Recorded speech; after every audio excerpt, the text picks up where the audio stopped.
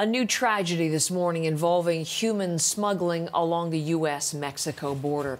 This is the scene along a remote back road in San Antonio, Texas.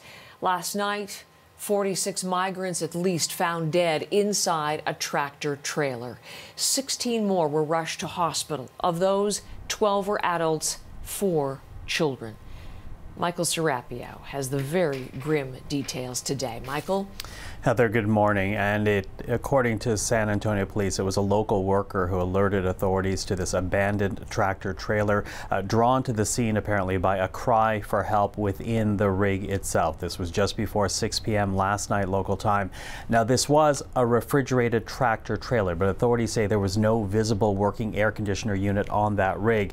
And when they arrived on scene, they discovered a back gate had been opened, a body lying on the ground, and as you said, at least 46 dead migrants, both adults and children.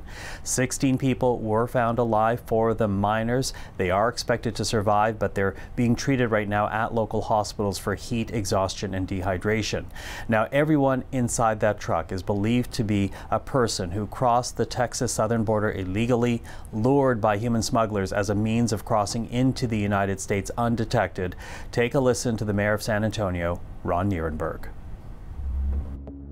There are, um, that we know of, 46 individuals uh, who are no longer with us, who had families, um, who were likely trying to find uh, a better life.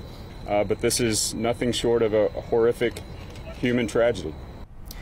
No information has been shared on the nationalities of the victims. Of course, historically, we know that many people have tried to cross the Texas-Mexico border from Mexico itself, as well as other Central, Central American countries, as well as Caribbean countries like Haiti. Uh, we can tell you that three people are right now in custody. Heather, their connection to the truck has not yet been disclosed.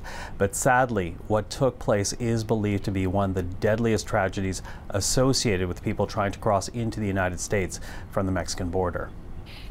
Yes, one of the deadliest, certainly not an isolated story, though, Michael. This continues to be a major issue along that border crossing. What has been the latest reaction to this? Well, let's begin with the Texas governor because Greg Abbott has been very quick to lay the blame at the feet of the Biden administration. He says this was the result of Joe Biden's refusal to enforce American border laws. But politics aside, migration arrests are at historic highs in Texas. Last month alone, nearly 240,000 people were taken into custody at the border for crossing illegally into the United States. And that is on top of a record 1.73 million arrests that were made last year.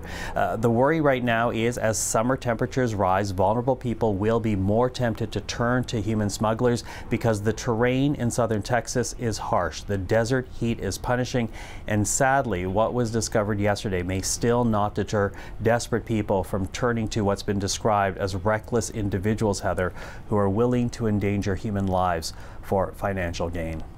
Michael, thank you very much. You're welcome.